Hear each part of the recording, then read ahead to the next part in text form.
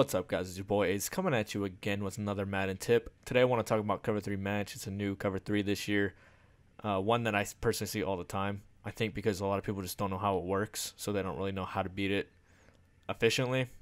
Um, it actually took me a while to figure it out because I, I, wasn't familiar with Cover 3 Match before this game uh, because I'm more about Madden X's and O's than real life X's and O's, so I wasn't familiar with it.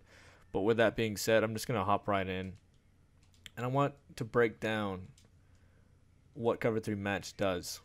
So I'm just gonna run it. I want you guys just to pay attention to what's going on.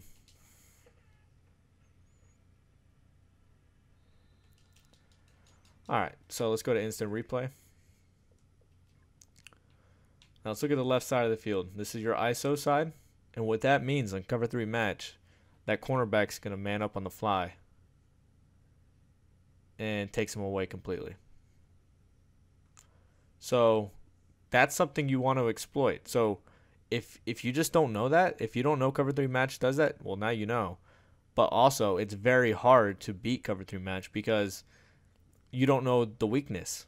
You don't know who's going to be getting manned up on the fly and all that. So you got to know that to exploit it. So if they're running cover 3 match all game, it's going to be very easy to beat them. So as you see, X is about to get unraveled, but you get sacked. Everything else is covered. So, cover three match is a very pesky defense. One that personally gave me problems online until I really went into the lab, figured out how to beat it properly. So, let's exploit the fact that there's a gaping hole on that side of the, the left side of the field. So, what we're going to do, go back to the ISO.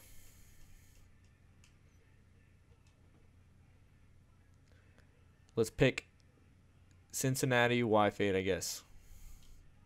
I guess that's what it called. I don't know if it's Cincinnati, but it was the play at the top. And go to cover three match. Put B on a slant. so if if it's cover three match, which right now we know it is, B is taken away. So I'd probably put a worse player there and put Gronk somewhere else just for the hell of it. If I was using the Pats, of course. And really what we're going to do is put Y on a drag, and that's going to be cover three match. So what I like to do is this. If it's cover three match, they're going to be rushing four. I like to personally look at the at the defensive line. I want to see if they're coming at me as soon as possible. I need about three seconds to beat them deep. If they get to me quicker than three seconds, I can hit the drag and I can still get a gain. So what I do is I look at the D line, I kind of count in my head to three, and I instantly look up and try to locate X. X is going to be your big money. See, I didn't get it. You got to be careful because that's why cover three match is good. If you get the time, it's very deadly. Got the time. There you go. Take it to the house. You're exploiting that hole on the side. Try it again. Got it again. So now one thing you do need to account for is the fact that most opponents you're going to be facing are going to be using one of those linebackers. So you got to be careful. If you're looking at the D line and you get your eyes up, you really need to locate the user and then make the throw. So it it adds a little bit more of a hesitation to your decision making, but you got to do what you can do. So Got it to X.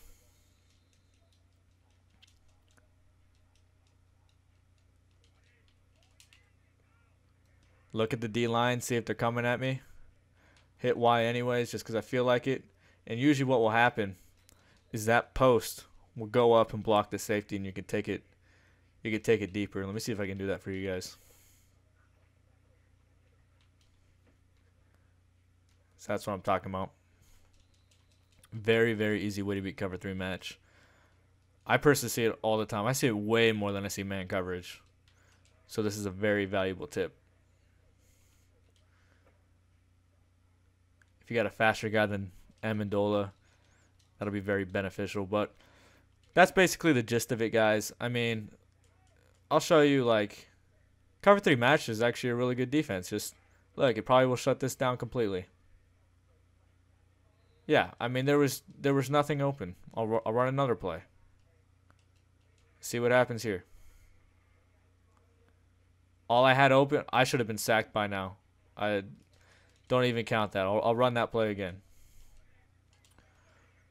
Looks like I can hit Y for a second, but other than that, takes it away. Let's see if I can do. Let's see if it shuts down four verticals. It does because the linebacker matches up on the fly. So it's a very good defense. You just got to know, you know, if he's running it all the time, you just got to know the weakness. Run it one last time just so you guys get a good taste of it. And take it to the house, guys. So I hope you guys enjoyed this tip. Uh, please drop a like, really helps me out. And let's aim for 25 today, which will be a new high. Um, and of course, if you like daily Madden tips, please hit the sub button.